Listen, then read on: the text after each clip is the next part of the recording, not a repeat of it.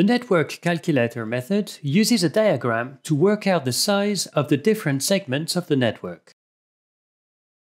This duct size information will be useful when drawing your networks in 2D using the routing commands. Note that there's no dynamic link between the network calculator and the drawing of the network in 2D. Using the line command of your CAD software, start by freely drawing the diagram of your network.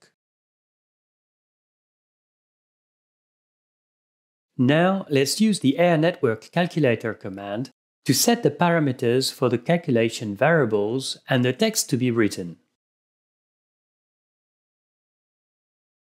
Then, select your diagram and specify its main branch.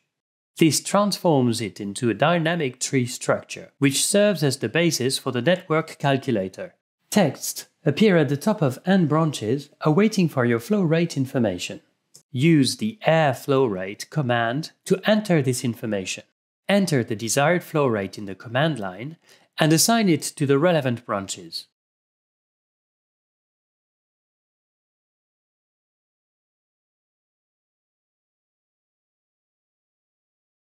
Continue assigning your flow rates to all the end branches.